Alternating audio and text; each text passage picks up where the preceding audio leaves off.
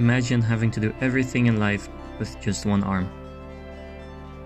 Would the thought of picking up a bow even cross your mind? I met up with Shaun Anderson, Paralympian and W1 athlete at the World Championships in Den.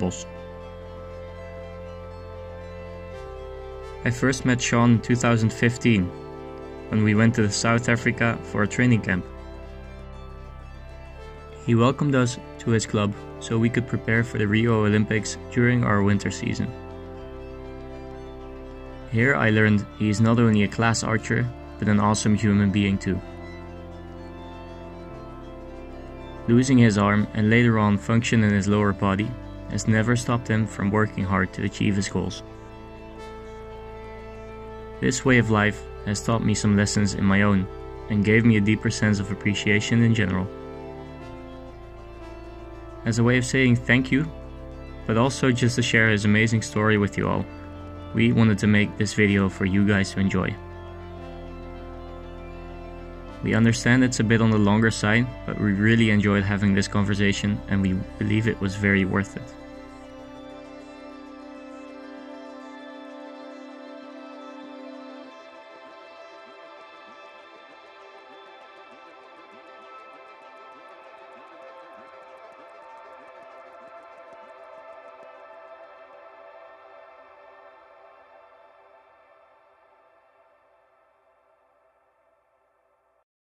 So, Shaun, Mm-hmm. your uh, first uh, appearance on Triple Trouble. So this is a, a premiere.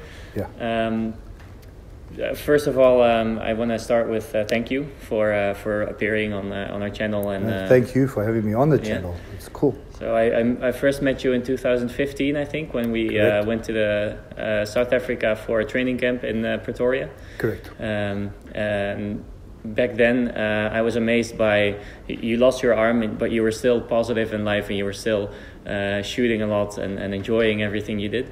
Um, and then, in the time that I that was between, so uh, last year I was there as well, three years uh, between. Yeah. Uh, you also lost the function in your legs, Correct. um, but still, you're still enjoying enjoying life, and you're still enjoying your shooting. Yeah. And can you tell us a little bit about um, how you find energy and how you find motivation to still keep going like this? That's a good question. Um, I find the energy and the motivation is when I watch you guys and everybody else shooting, and then and I want to be at the top, and I want to I want to put the work in, and and it's not giving up. You know, Yeah. I, I don't know how to give up. I, I can't. I don't believe in the word can't. So Yeah.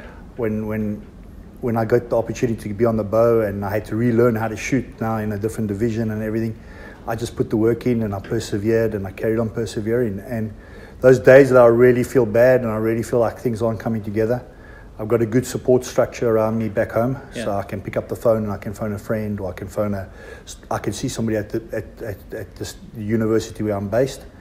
Um, so that helps me a hell of a lot. I've got I've, I've got an amazing family behind me, so that, that that's the most important. If it wasn't for my family, I don't think I'd be where I am today.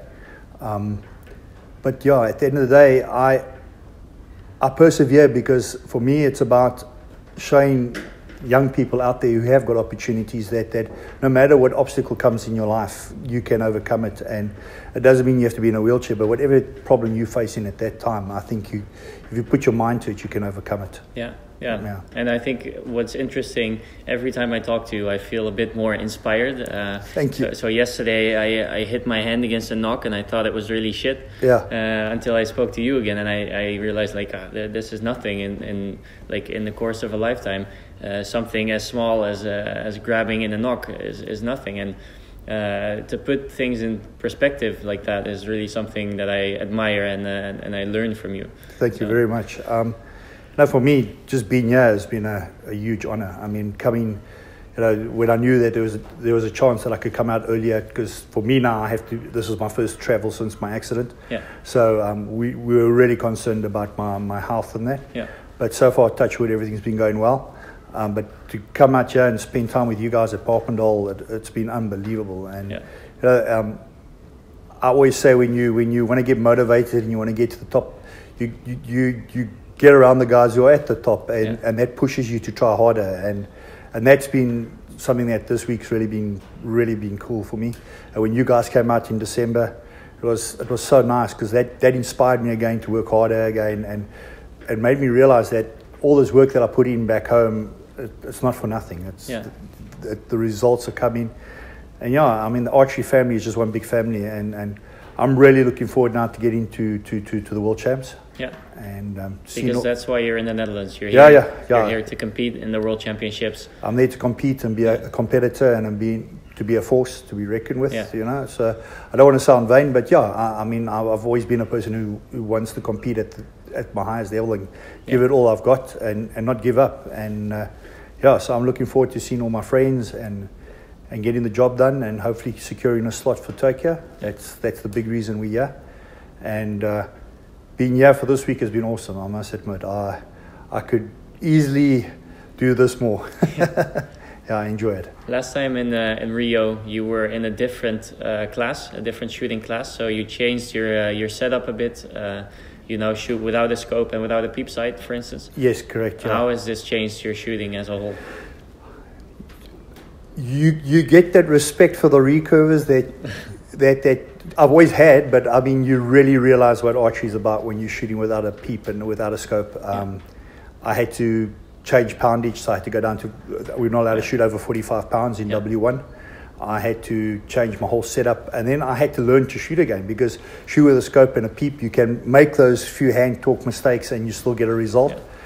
unfortunately without the peep and, and without you you got to learn how to line up the bow properly. You got to learn that you don't tilt the bow. And you really got to follow through properly with your front hand. And that and, and that's something that I've been working really hard on.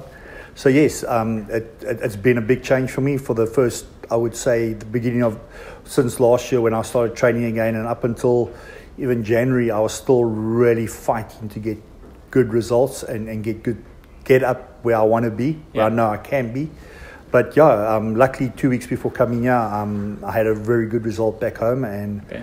and and that that just gives you that lift and that boost that to get here. And this last week training here, I've been shooting well. I've really been putting good arrows in, so I'm happy. Um, you know, I've done the work, so it's not that I'm coming to World Champs to do the work. I've done the work. Now it's just climbing that ladder and hoping that I can peak at World Champs, and Yeah. it'll be really cool. And and how far along do you think you are? Uh, because you started from zero basically when Yeah. you started shooting again. It was a different class. You were in a different condition. Uh, how far, if you would have to name a percentage, uh, would you think you are on, on getting back to your uh, your top level? I would say seventy percent. 70%. Uh, still, there's still a lot to learn. That's the nice thing about this division. Um, you know, it, it, it's every day when once you think you've just got it right, the next day you realize, oh, I've done something wrong again. You know, so I, I would say I'm I'm, I'm, I'm, I'm I'm between seventy and seventy five percent there. Yeah. I'm not near where I know I can achieve. Um, Yeah. In my heart, I know I can be. A, I really believe if I work really hard, I could be shooting the scores that I was shooting when I was shooting CMO. Yeah. So um, um, and and I can't see why I can't do that if I put the work in. Yeah. So yeah, um, I still got a way to I still got a bit of way to go. So that's that's why the goal for this trip is not trying to do anything crazy. It's just to secure that slot, and then then Yeah. we'll focus on after that we'll focus on the next goal. But Yeah, you have more than a year to prepare between Exactly. the World Championships and uh, the actual Olympic Games or yeah. Paralympic. So that's that's where I'm going to put. So now I'm here to learn and and and and and just taking as much as what I can. And this whole trip so far has been a learning curve for me. You know, it's my first travel on the plane and and and long hours and Yeah. Transfers and this and that. So that's really been an eye opener for me. And there's a few changes that we can bring to the to the list. Um, I'm really working on controlling the controllables. Yeah. The rest you can't control. You can't control the weather, especially here in the Netherlands. No, in, in the Netherlands, the weather is something to be reckoned with, but Yeah. you cannot change anything about the weather. So Yeah. you just have to accept it and deal. With it. You go with it, yeah. Um, so the controllables we can control, and that's what we've done this week. We've we've brought things in to say, okay, if it's like that, we're going to do that. But yeah, I'm I'm I'm I'm really happy with my prep. Uh, I think I've really put the work in, and coming this week before has been awesome. And uh, I got a lot of people to thank, and Jochem yeah, from Papendal and. And, and your your your Dutch association have been amazing. And You guys as well. I mean, a lot of people don't always realize when they see you guys on the line that we all we all can have fun together and Yeah. we're all serious as well and, and it's really been an honor to be here with you guys That's really nice to hear. Um, it's a bit of a weird question, but I've been playing with it in my mind. Um, let's say back in 2016, where when you were at your peak uh, of your shooting, I think at least. Mm. Um, do you reckon you are as good as a one-armed archer as you would be with uh, with a release in your hand, or do you think that it's a definite um, a definite advantage to hold your release actually in your hand instead of having a brace? No, there's definitely an advantage with holding a release. Yeah. You know, you, you can you can go into the wall better, yeah. so you can you can push and pull, yeah. and and that that is definitely the the the whole defining of archery is the push and pull motion and.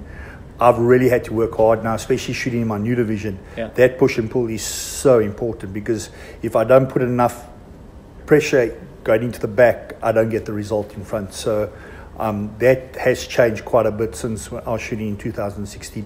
In 2016, I could push and I would get the result. Yeah. Now I'm having to push and then I'm having to manipulate my shoulder to get yeah. that pull motion back. Almost as if you were shooting a recurve and going yeah. through the clicker. Yeah. So, um, yes, having two arms definitely a, uh, there's definitely an advantage. Yeah. There's no doubt about that. Are there days of uh, which you wish you had two arms, or have you accepted uh, your faith in that in that sense? I'm a better person. I've learned to accept it. I've learned to to achieve things with one arm that many people can't even do with two arms. Yeah. I've um, and now that I'm in a wheelchair, that's been one of the hardest acceptance for me. Yeah. It took me a long time to accept that I'm in a wheelchair. Now and again, I need to ask for help because I'm not that type of person to yeah. ask for help. Um, so that's been a real hard acceptance. Accepting something doesn't mean you're going to give up. It just no. means you you're dealing with it, and and it means you you're okay with what's going on. So I'm still trying to get deal with being in the wheelchair. It's still tough. There's still many days that I I wish it never happened. Yeah. But but I've accepted it now, and I've accepted now and again to say, hey, can you help me? Um, it's, it's not a sin to ask, and nine out of ten people are prepared to help. Yeah. Um, I mean, I lost my arm 16 years ago. Yeah. Um, I amputated about four and a half years ago through medical reasons. I was yeah. having problems with medical reasons. Um, you know, a lot of people ask me, would, would I have a robotic arm put on my arm?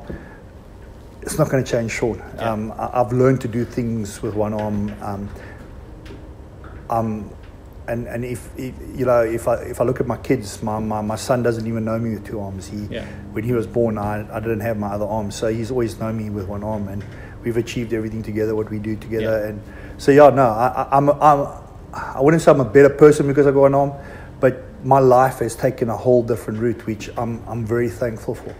You know, I'm really, you know, um, I would have never never got into archery if, it, if I I don't think I would have tried archery because yeah.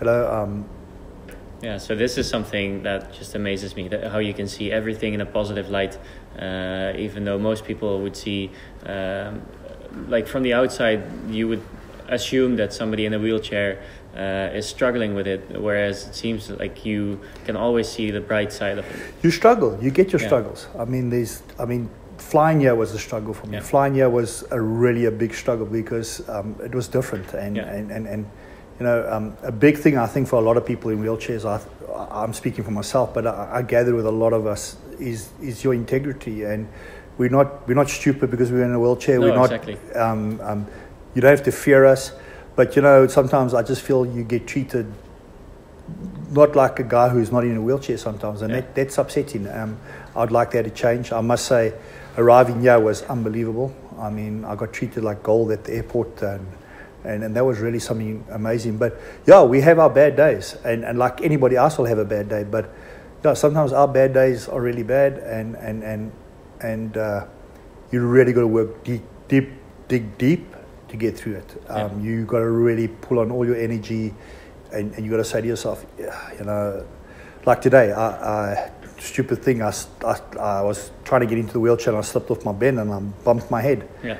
Now, I, I don't have a phone nearby to phone Barbara to come and get me or anybody to help me. So I had to get myself back into my chair. And that took a good half an hour. And at one stage, I felt like just taking the chair and throwing it across the room. But you, you can't do that because no. you're, not, you, you're not winning anything by that. You're just making your situation worse. So, yeah, you got to deal with it. And, and I just feel if, if you've got something facing at that time in, in, in life, no matter if you're in a wheelchair or not in a wheelchair, and you've got an obstacle, the best way is to deal with it and, and, and, and, and make sure you surround yourself with positive people. And that's, that's something I've really worked hard on, keeping negative any, energy out there and, and keeping positive people around me and keeping and, and, and staying positive. Even when I see people on positive, I try to keep them myself positive. And sometimes that rubs off, and I'm, I'm happy when that does, you know. Yeah.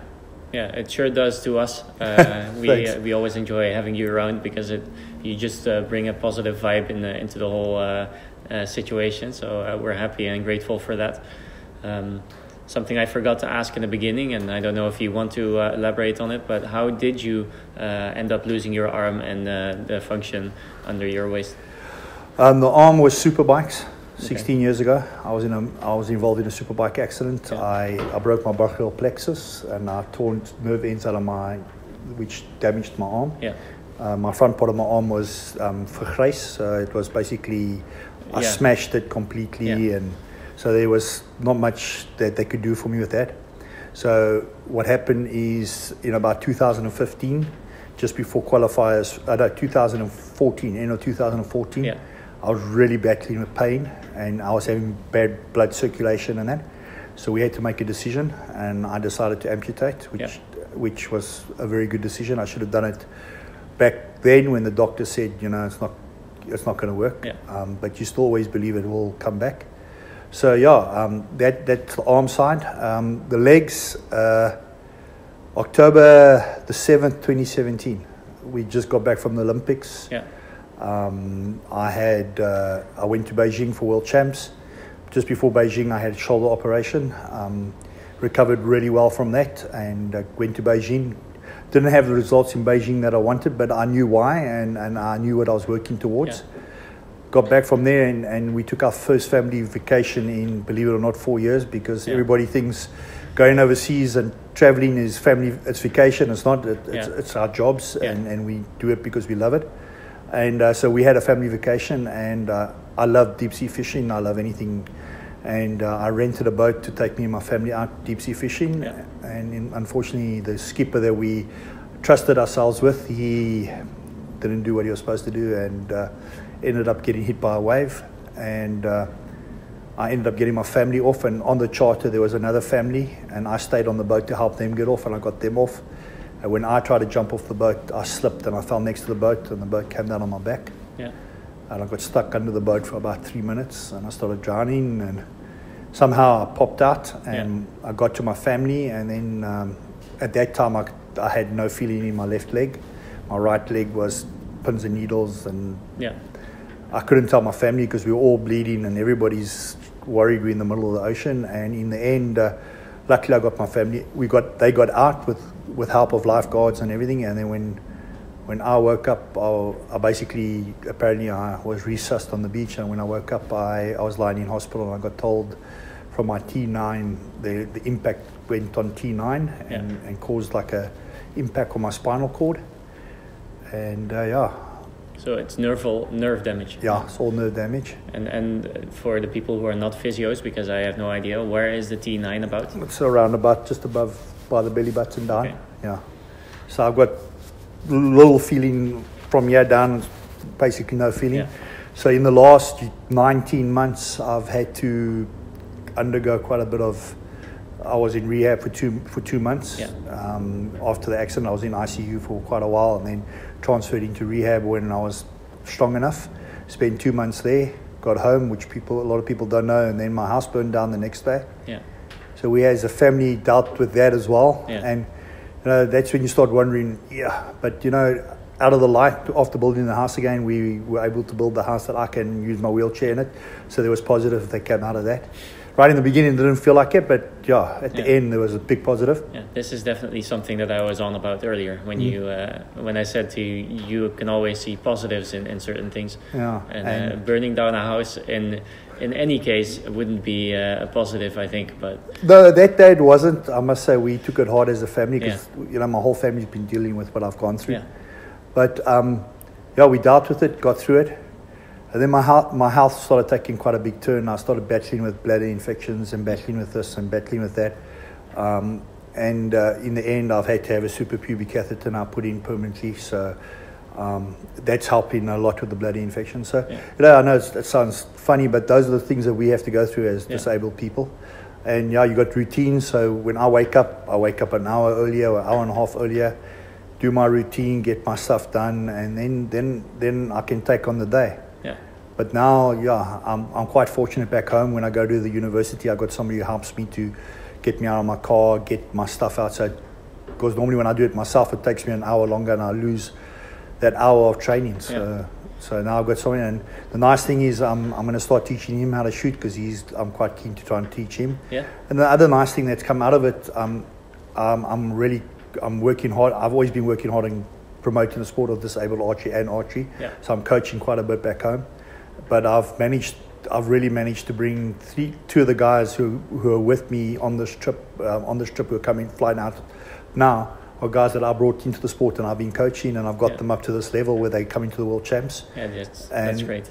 and and that that's been a big dream of mine not just to be the only one always coming to world champs but to have a team and we've got a team now coming out three archers and two of them I brought to the sport the other archer was in the sport and came back to the sport which was really great so yeah uh, that's a that's a that's been a huge for me that that that's a bigger achievement to me than just me being uh, what I've achieved you know Yeah. and then back home, I've got guys who are quadriplegics who are in wheelchairs, and doctors have said they're not going to be able to do anything, and they're shooting at competitions Yeah. now. So, Well, archery is an amazing sport in that sense because there's pretty much no one who cannot do archery. exactly, if you've got a will, there's a way. And uh, I taught Eric how to shoot, and he's using his ear to release his, his bow, and he's shooting well, and, Yeah. and he's having fun. And, and that's the most important. I always say to the people and the kids I coach and the parents and that, it's not about all all our kids must become Olympic athletes or Olympic top archers, as long as they're having fun in a sport that Yeah. they really enjoy. And that's the one thing about archery. It's It'll give you more energy than you take. yeah, everybody looks at archery and thinks, uh, but it's such a challenge, and, and, and that's what I love about it. You know, I come from sports like ice hockey and things like that, and into archery, it's calm and, and, and relaxed, but it's that it's that, that self challenge. You know, Yeah. you, if you do a bad shot, there's nobody else to blame. It's Exactly. yourself, and Yeah. It goes from hectic around you to hectic inside so your, your head, yeah. and and and that's the big thing. So yeah, that that that's that's something I'm I'm I've really worked hard on, and it's quite funny. I, I, I'm I'm feeling more. I wouldn't say I'm not. I was less prepared, but I've put a hell of a lot of mental work in for this this world champs, Yeah. and which I haven't. I did in the past, but not as much as what I've done. In the, so I'm really feeling good. I'm I'm physically strong. I'm mentally strong. The health is in a good place. So yeah, and uh, and thank goodness I got a physio this time who's with me, traveling with Yeah. me. So that that helps a hell of a lot. But yeah, uh, that couldn't have happened without the sport or my guys back home from the university, from Tuks University, and them. And yeah, I'm so grateful for that. And I'm really grateful to the guys here at Papendal and and you guys and the National Federation. They've been it's been awesome. It's really been amazing. Well, uh, thank you very much for this talk, and I uh, I mostly just wish you all the best for the World Championships. Same to you. Uh, Yeah. you, you. It's your world as well. And Yeah. and uh, you know, it's like we were talking earlier on today, and it's a lot of people can laugh about it, but I always, it, it's, it's you know, when you you surround yourself with people who who are at the top of the level, Yeah. you you want to perform at that same It's, level, and it's that's inspiring, yeah. yes, and that's it, and that's what what it was for me this week again. So thanks, Yeah, no problem. And good luck. thanks, buddy. Cool. Was that good? Yeah, I think so. Yeah. One take. That was